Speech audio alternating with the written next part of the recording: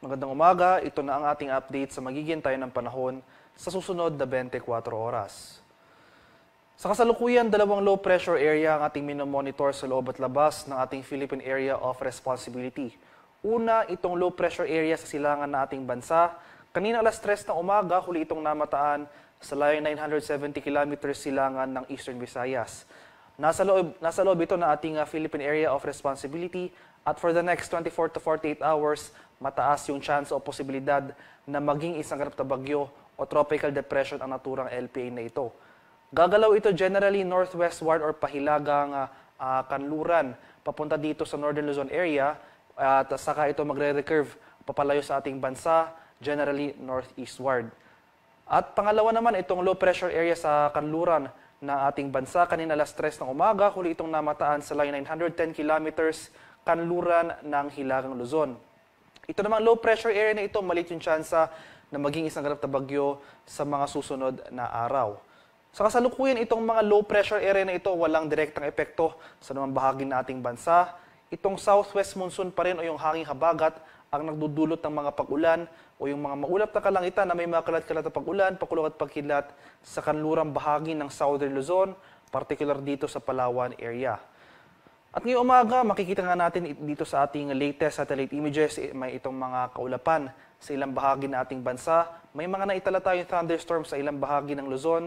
Sa Central Luzon, pati na rin sa Quezon Province, sa Visayas, dito sa bahagi ng Cebu at Southern Leyte area, pati na rin dito sa Mindanao, may mga thunderstorm rin tayo sa mga ilang lalawigan ng Northern Mindanao at Caraga region.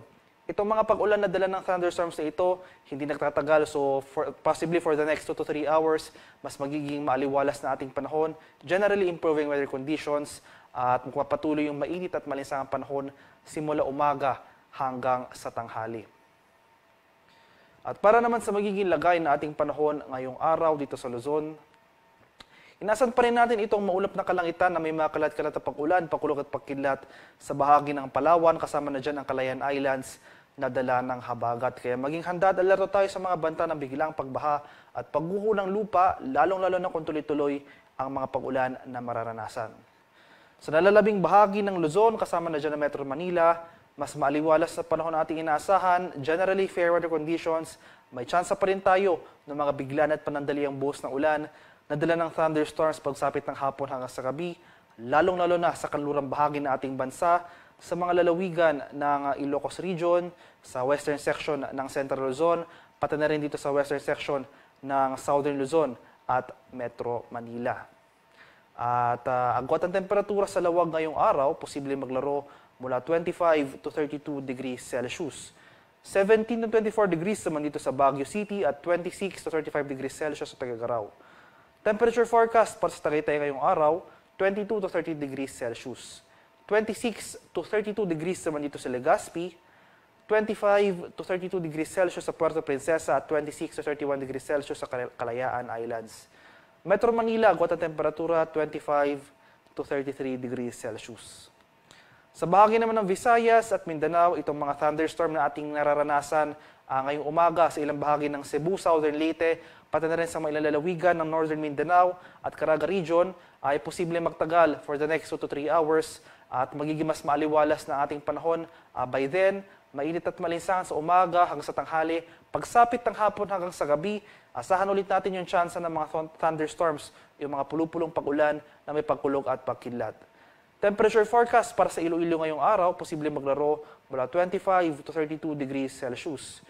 25 to 31 degrees naman dito sa Cebu at 25 to 33 degrees Celsius sa Tacloban.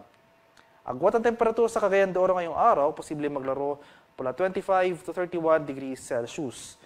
25 to 33 degrees naman dito sa Davao at 25 to 33 degrees Celsius sa Zamboanga. Sa kalagayan ng ating karagatan, banayad hanggang sa katamtamang pag-aalaw na ating inaasahan, walang gale warning na nakataas sa anumang baybayin na ating kapuluan, malayong makapalaot ang ating mga kababayang mangingisda at may mga maliliit na sasakyang pandagat. Iba yung pag-iingat pa rin sa ating mga kababayan na maglalayag sapagkat kung meron tayong offshore thunderstorm activity, yung mga pag-ulan sa ating mga dagat baybayin, asahan natin yung uh, bahagyang paglakas ng ating mga hangin. Kakibot ito yung bahagyang pagtaas ng mga alon. At para naman sa ating 3-day extended weather outlook sa mga piling syudad ng ating kapuluan, mula Merkules hanggang uh, Biyernes or for the remainder of the week, mas magiging uh, or magpapatuloy itong maaliwalas na panahon sa malaking bahagi ng ating bansa. May kainitan pa rin yung ating panahon, maalinsangan, at may tsansa pa rin ng mga biglan at panandaliang buhos ng ulan na dulot ng thunderstorms pagsapit ng hapon hanggang sa gabi. Ang mga pag-ulan na ito o yung mga pag-ulan na dala ng thunderstorms hindi, hindi nagtatagal kadalasan mula 30 minutes hanggang dalawang oras lamang. Especially sa kanlurang bahagi ng ating bansa tulad dito sa Metro Manila, asahan pa rin natin yung increased chances of thunderstorm activity sa mga susunod na araw dahil nga sa pag-iral itong southwest monsoon o hanging habagat.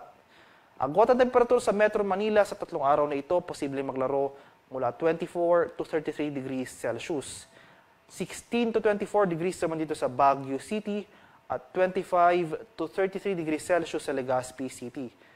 Temperature range para sa Metro Cebu for the next 3 days ay mula 25 to 32 degrees Celsius at 24 to 33 degrees naman dito sa Metro Davao area. Ang haring araw sa Kamaynilaan ay uh, sisikat mamayang 5.26 ng umaga at lulubog naman mamaya sa ganap 6.23 ng hapon. Para sa karagdagang impormasyon tungkol sa ulat panahon, lalong-lalo na sa ating mga rainfall or thunderstorm advisories na posibleng i-issue ng ating Pag-asa Regional Centers, ay follow kami sa aming Facebook at Twitter accounts at DUST underscore Pag-asa. Mag-subscribe na rin kayo sa aming YouTube channel sa DUST Pag-asa Weather Report at palaging bisitahin ang aming official website sa bagong.pag-asa.dust.gov.ph. At yan lamang po ang latest mula dito sa Pag-asa Weather Forecasting Center. Magandang umaga sa ating lahat. Ako po si Dan Villamil, nag-uulat.